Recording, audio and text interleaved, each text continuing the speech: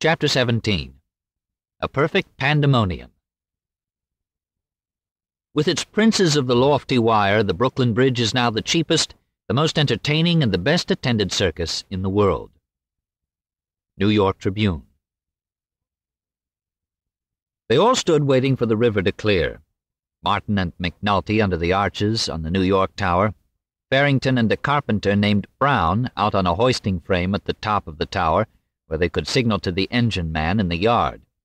Foreman Dempsey and several workmen close by on the tower itself, and on the wharves below and across the river, in the rigging of ships tied up on both shores, perhaps six thousand spectators, many of whom had been waiting for several hours.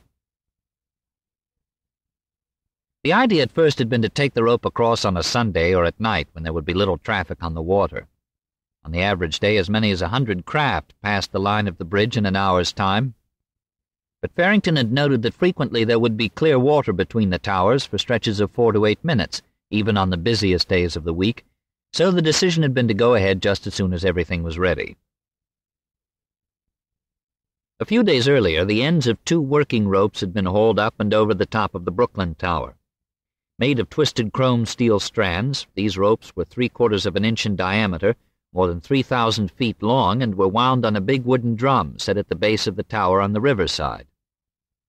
To get the ropes over the top had been relatively simple. A heavy hemp rope had been put over first, then tied to the eyelet at the end of the wire rope. That done, the hoisting engine in the yard was started up. The wire rope was pulled up to the top, where it passed through a set of pulleys, then down the other side. From the yard, the ropes were then hauled inland to the summit of the Brooklyn anchorage in much the same way, except that fenders and trestles had to be erected, and men stationed at all intervening housetops to prevent any accidental damage. At the anchorage, the two wire ropes were joined and passed around several oak wheels, the main one of which, the driving wheel as it was called, was mounted horizontally in a massive timber framework and was a good twelve feet in diameter. Back at the base of the tower, one of the reels was then put on board a stone scow and hung on a wooden axle, so when the scow started for New York, the rope would be unwound by the strain from the Brooklyn shore, where the rope was temporarily lashed tight. By nine that morning, Monday the 14th, everything was in order. Huge American flags had been raised on top of both towers, and there was much excitement among the spectators. Slack water, the relatively calm interval between tides, would occur in the next hour. Martin, McNulty, and Farrington had gone on board the scow to supervise things, along with the white-bearded O.P. Quintard and two or three young ladies, the identities of whom were never given in later accounts. Shortly past nine, two steam tugs pulled alongside. One made fast to the starboard side of the scow, the other stood off slightly, ready to keep other craft at a distance during the trip across.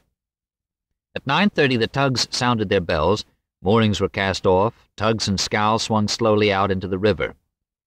At the stern of the scow the wire rope trailed off into the water. The tide was still running out, and as the boats pulled away, the current carried them downstream some, but not enough to matter. Slowly, steadily, they pushed for the opposite shore, the rope paying out and sinking to the bottom as fast as it unwound. Two-thirds of the way across, the tugs had to stop to allow an English bark to pass upriver across their bows. She came so close, wrote a reporter on the lead tug, that a pebble could have been tossed upon her deck with the most perfect ease. But that had been the single interruption. The whole trip took less than ten minutes, and the arrival at the New York Tower had been greeted by loud applause. The scow made fast in a very businesslike fashion. The balance of the rope was unwound and laid on the dock. The next thing had been to get the rope over the New York Tower. A hemp rope had been passed over the tower previously and was now attached to the end of the wire. But nothing more was done until Farrington had climbed to the top of the tower to make a few final checks. At 10.20 he signaled from above. The hoisting engine was thrown into gear, and in a matter of minutes the wire was over the top and reeled part way onto the yard engine's big drum. The main body of the rope, however, still lay at the bottom of the river, and there it remained as everyone stood watching for a moment with no boats in the way, or none about to be, when it could be pulled out of the water. The waiting seemed interminable. Half an hour went by, three quarters of an hour, and still there was no break in the traffic. Two barges and an excursion steamer moving out into the stream from Jewel's dock took forever getting under way. The excursion boat was bound for Oriental Grove on the Sound with a picnic party, and everyone on board appeared delighted by the grandstand view of the doings at the bridge. At about half past ten, as a precautionary warning to passing ships, a little howitzer had been fired at the foot of the New York Tower, but that seemed to have no effect. It began to look, in fact, as though several hours would pass before the river would be clear enough to get on with the work. But as some of the subsequent newspaper accounts noted, the long wait did nothing to dampen anyone's spirits, and the delay added considerably to the size of the crowd. Then the break came. The river was perfectly empty from tower to tower. At twenty-five past eleven, from the archway on the New York Tower, Martin shouted up to Farrington, Go ahead! Farrington had Brown signal to the hoisting engine. The cannon was fired a second time to signal the men on the Brooklyn side to cut loose their lashings and as a warning to approaching ships. In a few seconds the rope began to move, Farrington wrote later. There was a ripple around it in the water. It began to draw away from the dock toward Brooklyn, and soon we could see the other part coming from Brooklyn towards us.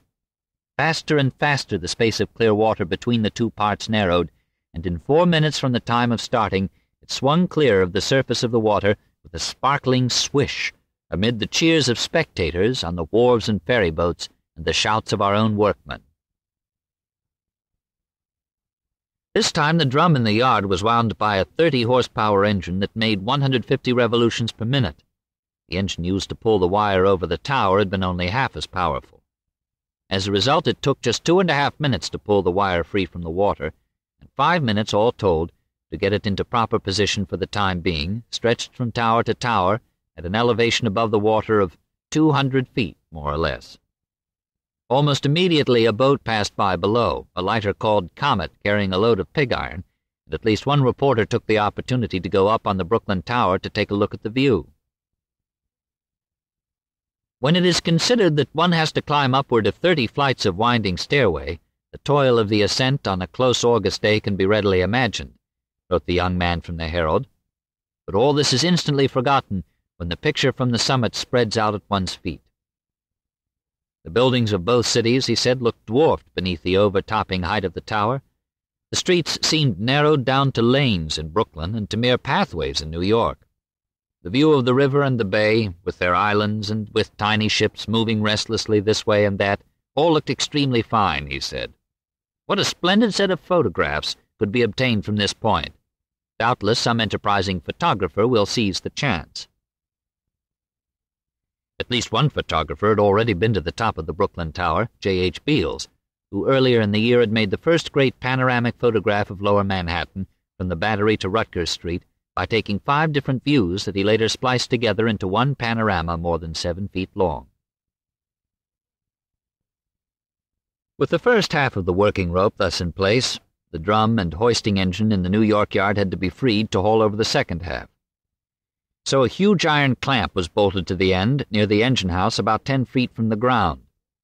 A pulley block was made fast to the wharf close to the drum, another to the clamp, and a rope passed between them several times made a lashing strong enough to withstand the pull of the wire rope, the end of which was immediately cast loose from the drum.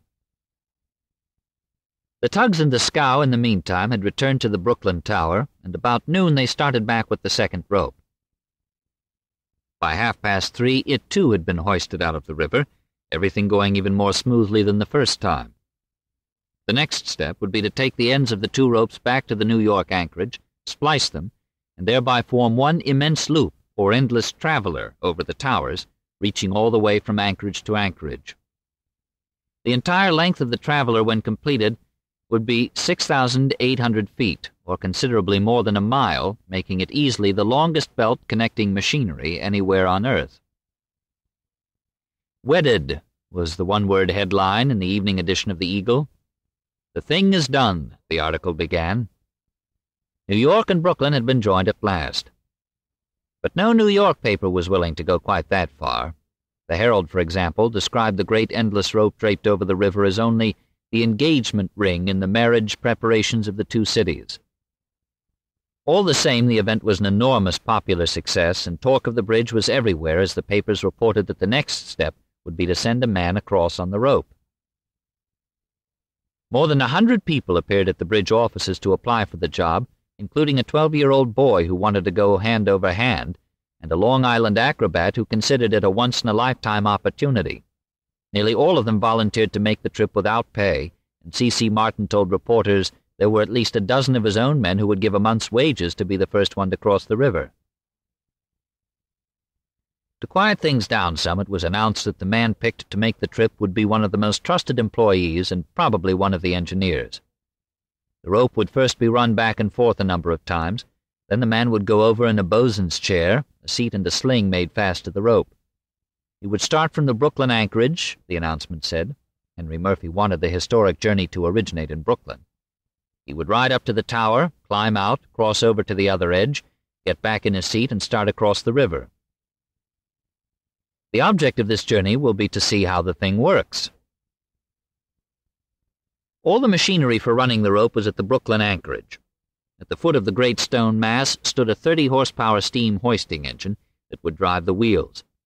It was completely enclosed, as was its boiler nearby. Up above, across the face of the anchorage, secured just over the arches, was a line of shafting with several pulleys.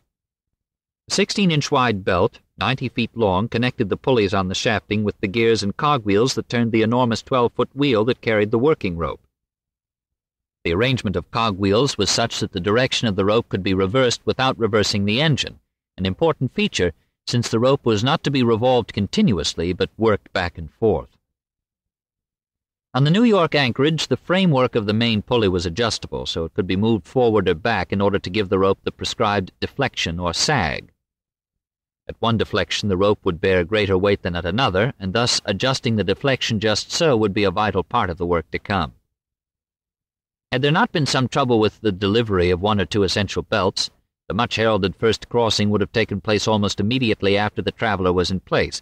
But there were numerous other matters to attend to in any event, and the Eagle, ever the ardent champion of the bridge, wrote, It is refreshing to see how the work is pushed forward, and yet the thoroughness with which everything is done in these days of slighted work and ill-performed operations. To the surprise of almost no one who had had anything to do with building the bridge, the man chosen to make the first trip over the river was master mechanic E.F. Farrington. Farrington, who would so soon become a subject of great public interest, was nearing sixty in 1876, but still agile, tough, and, of course, exceedingly knowledgeable about working with wire rope. Subsequent newspaper articles would reveal also that he came from Massachusetts originally, where he had been put to work in a woolen mill at age nine, that he had been a farmer, a carpenter, a machinist in England, a seaman, a gasworks superintendent, and was considered the best bridge mechanic in the country. On the morning of Friday, August 25th, when he arrived at the Brooklyn anchorage ready to make his historic journey, he appeared perfectly cool and collected. A spare man of medium height, with grey beard and blue eyes, turned out quite formally for the occasion in a fresh suit of unbleached linen and a new straw hat. An announcement that a man was to make the crossing that day had been published in the Eagle the previous afternoon. As a result, the crowds had begun gathering since well before nine in the morning. Seen from Brooklyn, the piers adjacent to the New York Tower looked black with people, and the gates to the Brooklyn anchorage and tower yard were jammed with spectators.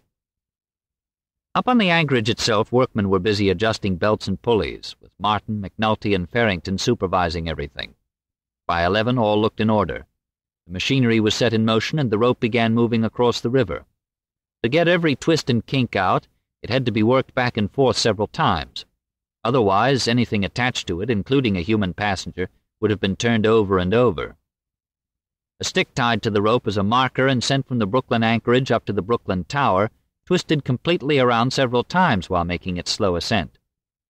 But after half an hour of working the rope to and fro, it moved along perfectly. There was a break for the noon meal. The day was bright and very hot by then. Up on the Brooklyn Tower, a small crowd of privileged spectators had gathered, including Senator Murphy and several ladies.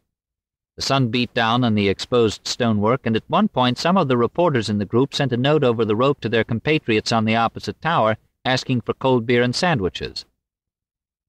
An answer was returned by the same route. Send the money and we will send the beer. But no money was sent.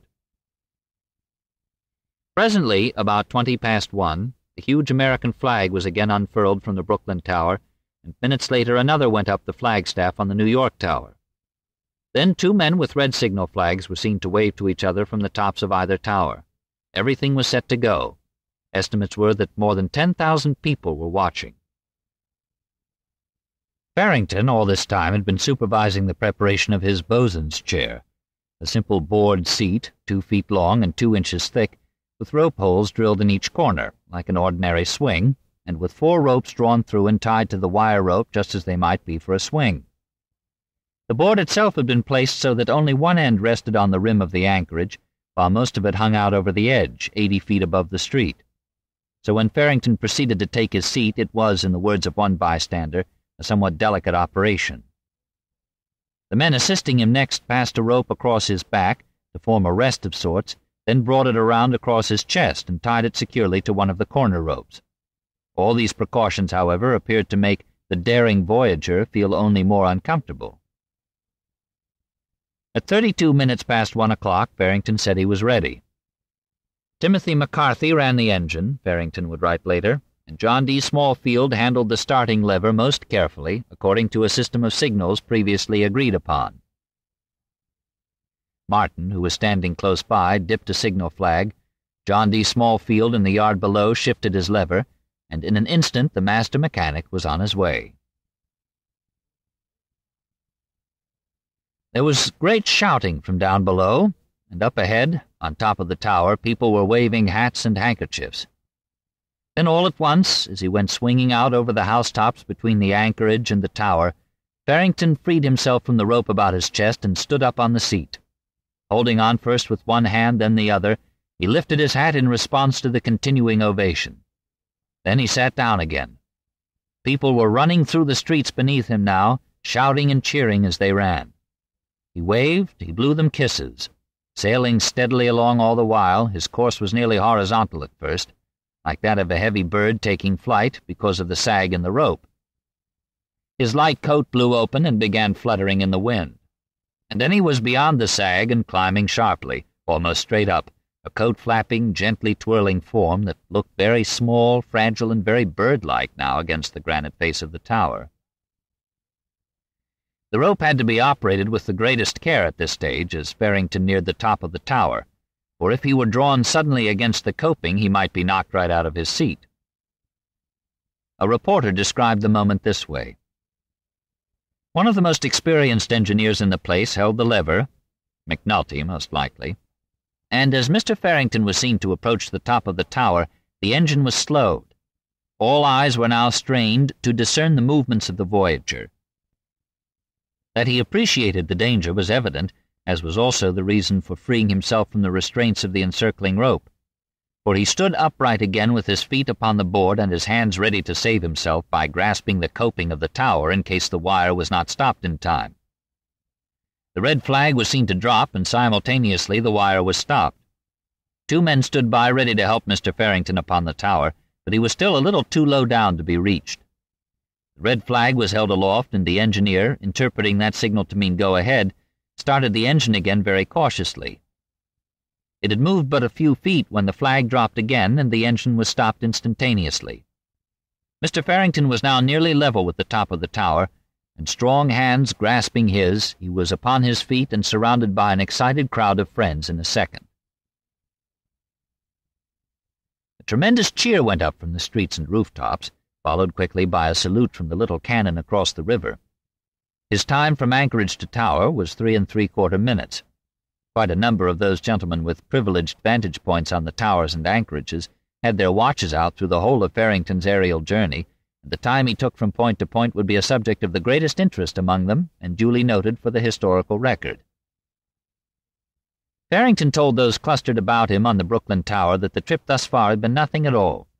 Murphy shook him heartily by the hand and asked how he felt. It was an exhilarating moment for the senator.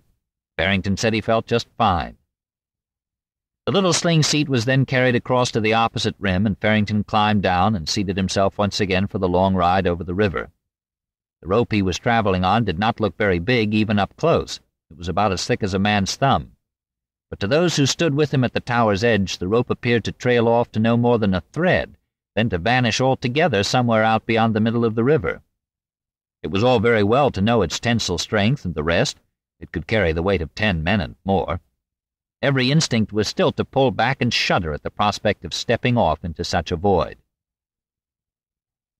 Again the signal flag waved and the rope started, and the minute he swung away from the tower there was another outburst of cheering. This time all those crowded along the wharves were joined by thousands more on board the innumerable boats and ferries that had gathered for the occasion. All normal traffic on the river had stopped. From the towers it looked almost as though one could walk across just by stepping from boat to boat. Farrington went sailing over the river, waving, lifting his hat, very obviously having a glorious time, but he stayed seated. Then a steam tug directly beneath him let loose with its shrill whistle. Instantly a dozen others joined in. In seconds every boat on the river was sounding its approval as the tiny figure of a man went soaring overhead, to all appearances self-propelled, spinning around every now and then, the rope he dangled from all but invisible against the sky. As he passed the center of the river and began his ascent to the New York Tower, the reception from shore was louder even than his Brooklyn send-off had been. And a little less than seven minutes after leaving the Brooklyn Tower, he made a flawless landing on top of the New York Tower. Then, with no delay whatever, he was across the summit of the tower, back in his seat again, and on his way on the last leg of the trip, down to the New York anchorage. Now the great mass of spectators along the riverfront surged inland toward the anchorage. Church bells were ringing, factory whistles screaming, along with all the boat horns, bells, and whistles that were still sounding forth from the water. A perfect pandemonium, the Times called it. Indeed, Master Mechanic Farrington seemed the only one not carried away by the moment. It was as though he might be having second thoughts about the commotion he was causing, or that he was sorry the ride was over. Despite the shouting and confusion that went on beneath him, wrote one onlooker, he sat quiet with his hands folded, save when he waved them in response, and showed every sign of perfect self-possession. Then Farrington stepped lightly onto the New York anchorage, the first passenger to cross over from Brooklyn by way of the Great Bridge. The entire trip had taken twenty-two minutes. After that, when Farrington climbed down from the anchorage, something close to a riot broke out. The crowd wanted to carry him through the streets in triumph. At first he had tried to make his way through, thinking naively that he could walk over to the ferry back to Brooklyn, but people were pressing about him so, reaching out to touch him with such fervor that he was obliged to seek refuge from their attentions in an office in the bridge yard. The hope was that things might settle down if he kept out of sight. But an hour later the crowds had grown greater, if anything. A rowboat was brought to the wharf under the tower. Farrington slipped out a back door and was rowed to the other side.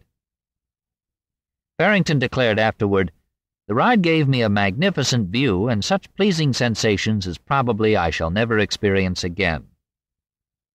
But he thought much too much fuss had been made over the episode, and told Roebling he was quite put out by the publicity he had received.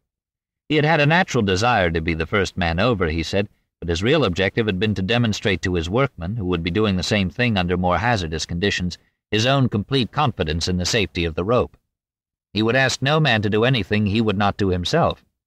Moreover, he allowed that he and the assistant engineers had been getting too much praise lately. Roebling was the hardest worker of them all, he told one reporter. He does most of the brain work, Farrington said. Be that as it may, Farrington had done something neither Roebling nor anyone else had. In the eyes of the public, for the very first time, he had transformed years of talk and expense and several million tons of granite into a bridge over the East River. He had shown the thing could work, and like it or not, he himself had been transformed by the act. He said he had simply gone along for the ride. Anyone could have done it, was what he told people. The only thing necessary was to sit there, all of which was perfectly true to a very large extent. But the more he went on that way, deprecating his own part in the spectacle, the more he seemed to be saying something else. That this bridge was a more miraculous affair than one might imagine it had not only taken him over the river with perfect safety, it had transformed him into a hero, and of course the fact that he was a plain mechanic, but a man of natural good sense and courage, did nothing to diminish his popular appeal. His crossing very simply had been a public triumph, as Harper's Monthly said. Nobody who saw it would ever forget it. He could say whatever he liked. The work to be done now briefly stated, was this. Two more three-quarter inch wire ropes would have to be taken across and spliced to form a second endless traveler. Then a heavier rope, called the carrier, would follow, this one to hold the weight of several still heavier ropes to be hauled over. These would be the two and a quarter inch ropes to hold the light frame platforms or cradles upon which the men would stand when binding the wires for the great cables. Then supporting ropes for the footbridge would have to be laid up, the footbridge built, ropes for handrails strung, and two storm cables attached from tower to tower beneath the footbridge in inverted arcs to keep the footbridge from being carried off by the wind. All that accomplished, the real work of spinning the cables could begin, and it would be then that the travelers would perform their vital role. Work on the second traveler rope began the very next day, a Saturday. But this time the rope was hauled over by the first traveler rather than going by water, and before the day was over, bystanders along the river front were treated to still one more memorable but entirely unexpected high wire performance. At eight that morning, first thing, a big reel of wire had been rolled into position on top of the Brooklyn anchorage. One end was lashed to the traveler. The traveler was started up. Slowly the reel unwound, and the new rope started toward the Brooklyn Tower, seeming to creep out over the other rope, but really moving with it. When about fifty feet had run out, signal flags waved, the traveler was stopped momentarily, the two ropes were lashed together with heavy twine by men stationed next to the reel to keep the new rope from sagging and then the rope was started up again. After that, similar lashings were made every fifty feet. As the new rope crept out over the housetops, the news spread through the whole neighborhood and across the river by ferry in advance of the rope. In no time, the streets and wharves were once more jammed with spectators. Once the rope had crossed the river, passed over the New York Tower, and reached the anchorage beyond, it was secured at each end in a sort of monster vice. But then the lashings had to be cut loose from end to end, and the one way to do that was by hand. Accordingly, after the noontime break, two riggers began swinging themselves simultaneously from each tower down the land spans toward the two anchorages. From the New York Tower came a former sailor with the appropriate name of Harry Supple, who had been working on the bridge for six years and had been among those injured when the derricks fell. He used a bosun's chair like the one Farrington had crossed on, which was hung to the traveler by a big iron shackle. Seating himself as Farrington had, only without any restraining ropes about his chest, Supple took two and a half hitches around the traveler with a short length of rope that he would use to check his speed on the way down. Then he pushed off into midair, kicked his feet to get the shackle started, and with sudden speed slid down to the first lashing, where he pulled hard on his rope and stopped. A few fast slashes with a sheath knife, and he had the knot severed. Instantly, bits of twine flew into the air, and the wire ropes sprang apart with a terrific force, causing the new one to drop down in a big loop, and the old one, which Supple was riding on, to vibrate violently along its whole length. Supple himself was seen to drop six feet in his frail-looking seat and bounce about wildly, but he appeared not in the least bothered by that, and immediately cast off his gauntlet, as the stay rope was called, and continued on. He sliced open the next lashing, the next and the next, proceeding with incredible speed, a noisy crowd urging him on all the way to the bottom. To separate the two ropes from tower to anchorage, a distance of 1,000 feet bound by 20 lashings, took him ten minutes. When his feet landed on the anchorage, the ovation was such that he ought to have taken a long bow. In the meantime, however, spectators in Brooklyn had not fared so well. The other rigger, a German named William Corner, had been terribly nervous before stepping off from the tower, and once under way he had been both awkward and maddeningly cautious. He held on to the wire rope with both hands, letting himself down ever so slowly and only short distances at a time. He took so long with each knot that there was some speculation on top of the tower as to whether he might finish the job that week. As it was, he took nearly an hour to do the same thing Supple had done in ten minutes. So when the time came to start on the main span, Patrick Timms, the man picked to leave from the Brooklyn Tower, was told by the others in no uncertain terms to do better by them. The plan was for Timms and Thomas Carroll to slide down from the two towers and meet in the middle over the river, cutting the lashings in just the way the other two had. That done, they were to hitch themselves to the traveler, which would then be entirely free, and be hauled back up to the Brooklyn Tower. Timms and Carroll were both Englishmen. Timms was lithe and powerfully built. Carroll, a huge portly man, would be testing the wire, it was said, with well over two hundred pounds. Timms had come darting down his side at a great clip, recovering for Brooklyn whatever glory had been lost by the awkward corner. But Carroll had run into trouble almost right away. For some reason, probably to gain speed going down the rope, Carroll had hung his seat by a pulley instead of the iron shackle used by the others. The pulley had worked fine at first. He shot away from the tower faster than any of them. But as he approached the second lashing, the pulley jammed between the two traveler ropes, and try as he would, he was unable to budge it loose or to reach far enough ahead to get at the next lashing. It was at this point that young Supple, who by now had returned to the top of the New York Tower, decided to go to the rescue. He swung himself out over the river sailor style, hand over hand, with his legs wrapped around the traveler rope. He reached Carroll quickly enough, passed him by, and cut the next lashing, which instantly freed the pulley. Then back he went up to the tower in the same way he had come down, and carrying on an easy conversation with those on the tower all the while. The crowd below was ecstatic. Carroll meanwhile slid on only to get caught the same as before again and again, and freeing himself only after the greatest effort. His progress was so slow, in fact, that he was no more than halfway down his side of the rope when Timms, having passed the center of the sag, had started to haul himself by hand up the steep incline toward Carroll, cutting the lashings as he went. Once they met and all the lashings were free, there was a new problem. The traveler would not move. Somehow the two ropes had gotten twisted around each other, with the result that it was impossible to haul the men in. So something had to be improvised.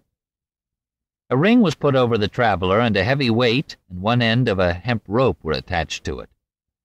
The weight, it was hoped, would be enough to carry the ring and the rope down from the New York Tower to the stranded pair, who were perhaps four hundred feet distant but the ring slid only a quarter of the distance, then stopped for good. Once more Harry Supple went into action. Fixing a loop in the same hemp rope, he strapped it about one leg and worked his way out toward Timms and Carroll, both of whom, to the amazement of everyone, seemed quite nonchalant about the whole business. Timms, swinging in his perch, his arms resting on the upper wire, looked as though he might be about to fall asleep. Supple reached them with no trouble, tied the end of the rope he carried to Carroll's chair, climbed onto the chair with Carroll, and the two of them were pulled back to the tower, leaving Timms hanging out there by himself. The traveler was tried again then, and this time it worked. Timms began moving along back toward Brooklyn, whence he came, swinging his legs, as though on a joy ride, looking all about up and down the river. But before he was a third of the way to Brooklyn, there was a sudden frightful jerk in the wire, as though something had snapped, and it was noted by those watching through glasses that Timms suddenly changed his expression. A belt on the engine had broken, and it took twenty minutes to fix it, which were twenty minutes during which Timms had no way of knowing what the trouble was. Gradually regaining his composure, he just sat very still, watching the boats below and waving his hand in answer to cheers from passengers gazing up from passing ferries. Presently he was pulled to the tower, and the rest of the day was devoted to getting the new rope into proper position. The papers made much of all this. Even the World, which had seldom ever had a good word for the bridge, ran a long account, calling it in a big headline a stupendous tightrope performance. And later, in a formal report to the chief engineer, Payne would write, Mr. Harry Supple was all that could be desired as foreman of riggers. When another rope was taken over on Monday, the second half of the new Traveler, the crowds were there again, and the event was treated by the press as a major theatrical opening might be, or a new circus in town. People knew more what to expect this time. And this time the new men being given a chance at the work were out to break Harry Supple's record of 1,000 feet in ten minutes, which one of them, William Miller, managed to do, going the same route Supple had from the New York Tower to the New York anchorage in seven and a half minutes. As he neared the anchorage, wrote a reporter, the order was given, Stand by, men, to snatch him. His face was firmly set, and his eyes had a queer light in them, his face shining with the galvanized iron dust that the iron shackle of his chair had ground from the wires, and his hands were in active use on the rope. When he came within reach, the men caught him, and with a rousing cheer landed him on the stonework. Two others, Frederick Arnold and James O'Neill, had also by now taken off from the towers and could be seen plummeting pell-mell down the extreme ends of the main span over the river. O'Neill, the man from the New York Tower, appeared to be making the best time, but then he stopped abruptly as though his chair had jammed the way Carroll's had. But when the engineers, Martin McNulty, Payne, turned their glasses on him, they saw he was getting out of his chair and climbing up onto the wire above. Next thing, he slung himself by a strap, his belt apparently, to the wire he had not been riding on, and it was then that everyone on the tower realized what had happened. Some way or other the two ropes had crossed, and O'Neill had jumped off from the tower with his chair slung to the wrong one, to the new rope rather than to the traveler. O'Neill had discovered this in time, obviously, and with great nerve decided to make the change immediately. Sitting there on the traveler, a good 185 feet over the river, he cut his chair clear from the shackle and tied the chair ropes to the proper wire. It took him about fifteen minutes to make the switch, the hearts of many spectators beating fast and hard on witnessing his cool daring. O'Neill had moved on again eventually and reached the middle of the river, where Arnold, meantime, had been sitting waiting patiently. Then, after dangling out there for a time, the two of them were towed back to the New York Tower. But the greatest excitement of the day had occurred a little earlier over on the Brooklyn side, where the descent from Tower to Anchorage was made by none other than E.F. Farrington, who apparently wanted to make up for Corner's poor showing on Saturday and to demonstrate to his men, and just possibly to the Brooklyn spectators as well, how the job ought to be handled. On the Brooklyn side also, quite a number of people had been admitted within the enclosure surrounding the tower yard, and among them were several seemingly fearless young women wanted the best possible view of the high wire performers, and of the fatherly Farrington in particular. One pretty brunette in a pink summer dress, a girl of about eighteen, led the way.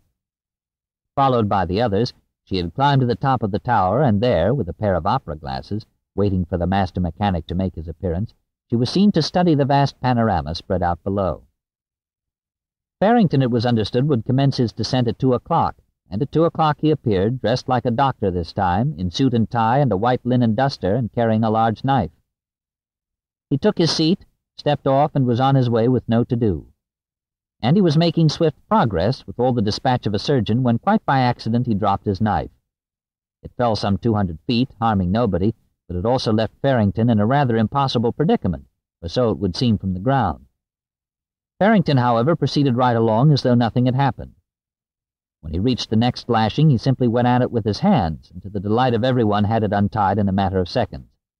Though it took him quite a little while to get down, the crowd stayed with him the whole time, and he still managed to do the job faster than had poor Corner. And then the circus acts were over. Both travelers were in position, ready for business, mounted in such a way that the space between the sides of each enormous loop was about twenty-seven feet, or so wide apart that when they were seen from the waterfront or from out on the river, it looked as though four separate ropes had been strung over the towers, placed about where the four great cables were to hang. I have carried out your instructions to the letter, Farrington wrote to Roebling. From my perfect familiarity with your plans and my own experience, I shall expect the cables of this bridge to equal, if they do not excel, the best that ever were made.